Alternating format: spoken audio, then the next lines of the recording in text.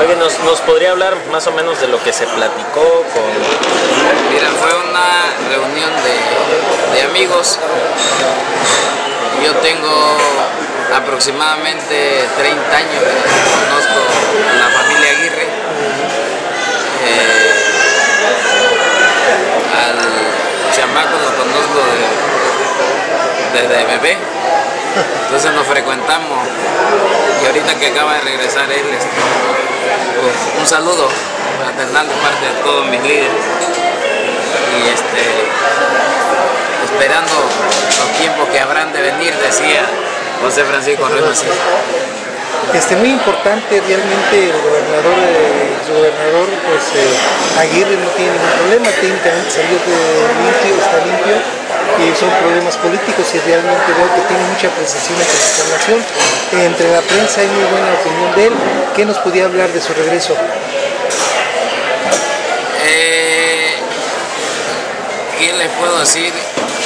Él es un político nato, una persona que nació para servir y un puñado de gentes que se ha dedicado a hacer mal en el Estado no puede a él de la política.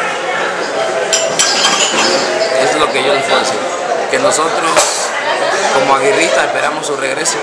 Entre las encuestas que se ha, llevado, que se ha hecho, pues se espera su regreso. ¿Cómo están sus encuestas? La encuesta del pueblo está bien con él. Ustedes conocen la mejor encuesta. Lo que más me agrada es que asoma la cabeza y pone nervioso a muchos. Pues esto es muy importante, quiere decir que Aguirre ahí está. Y que hay Aguirre para rato. ¿Cuántas vinieron o asociaciones? Eh, fuimos una comisión de compañeros, aproximadamente 12, entre ellos su servidor, a saludarlo, saludo fraternal de él.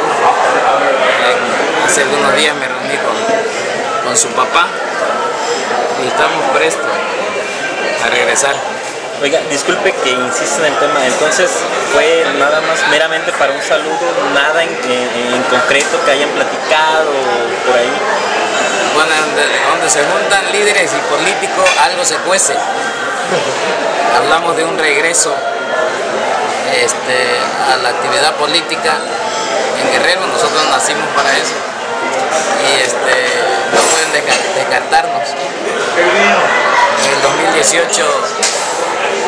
vamos por más. Pues nada más sería regreso de Ángel Aguirre que pone nerviosos a muchos. Pronuncia como algún nombre. Algunos, algunos se les pone nervioso, a otros se nos llena la cara de felicidad, sobre todo por el- este gran personaje. Sin duda alguna es todo un personaje, es todo un señor de la política eh, y sin duda alguna Guerrero se congratula porque ha dejado huella, ha dejado obra y ojalá que lo tengamos por mucho tiempo porque ha traído beneficios a Guerrero, sobre todo en cuestión de infraestructura. Ahí están las obras, eh, que es lo que se refleja.